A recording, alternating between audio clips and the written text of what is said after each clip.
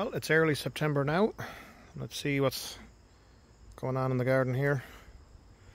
Um, so, hasn't been a very warm September, but plenty of tomatoes coming in. These are all Romas, and behind some San Marzanos. These are getting kind of crowded out by the trees up there, so there's not a lot of production there. But the Romas are doing fine, plenty to pick from. Been making plenty of salsa and such so far. Jesus, a bit of a jungle. Plenty to pick there. Um, behind them, this is cucumbers. Now there's a lot of um, leaves starting to die off on these. Haven't been very productive with the cucumbers, but uh, they've been doing okay. Um, decent size to them. Won't complain about it. So, yeah, fairly tasty. Um, it was away for a couple of days, so these are getting a little out of control. So a bunch of runners have to get trimmed back, to keep some production going. Behind those are cantaloupes.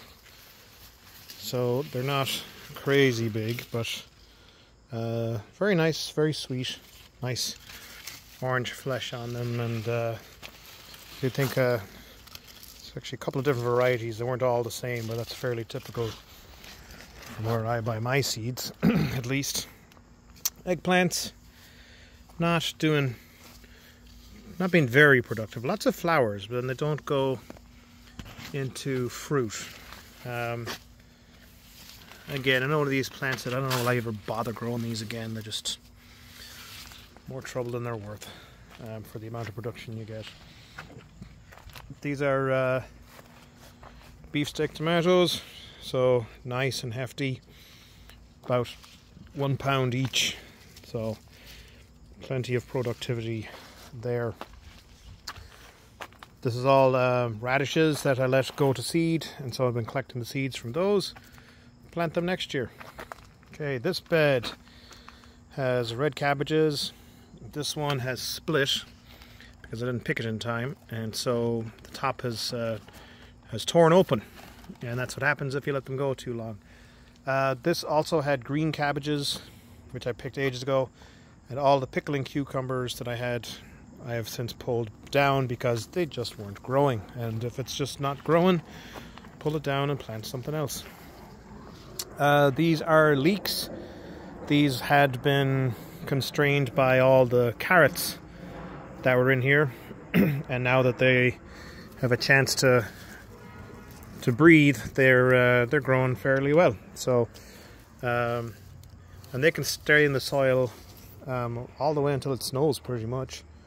And then behind that a bunch of kale growing which um, grows faster than I can eat it. And I truly just haven't felt like eating it. So so there it goes all right.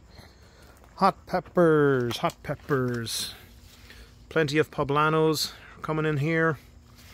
Uh, cayenne peppers plenty of those. Um, growing like mad really. And behind them is the jalapenos. And the jalapenos are doing fairly well. Leave them until they start to get the cracks on them and that's uh, that's a good time to pick them. If you leave them they will eventually turn red but I think they're grand just the way they are. They make nice poppers. There's a red one hiding back there that managed to escape the last picking so all very good. Back here this is beans and something unusual has happened here. So they've been producing and then they just completely paused to the point where there's no beans up there but now they've been pushing out a lot of flowers again so it looks like we're going to get another burst of beans here shortly so can't understand what happened but it happened um, I have an irrigation scheme set up, so that can't be the problem. I don't know. There's one or two that are still managed to escape through. Um, cherry tomatoes. So red ones, Chadwick cherry, those are going grand. We've had some heavy rain, so when that rain happens, then you get splitting, and when you get splitting, it invites fruit flies, so you want to take care of them. Um, the black strawberries are great, lovely meaty flavour to them. Fantastico.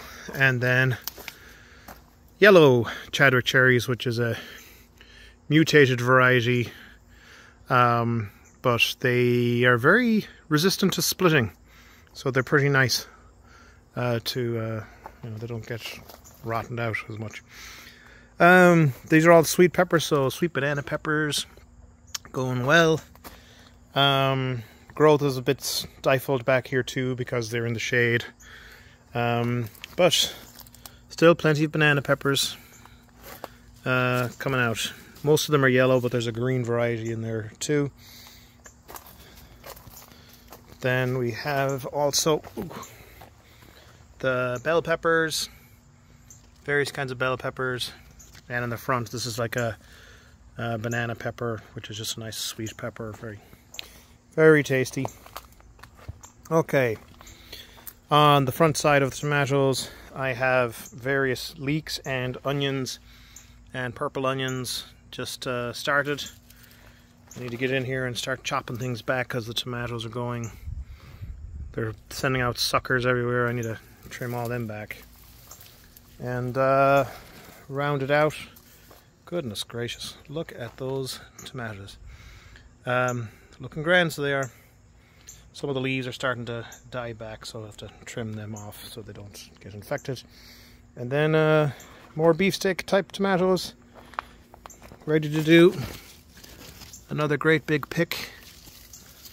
And that should be fairly tasty times. So that is about it. Bye.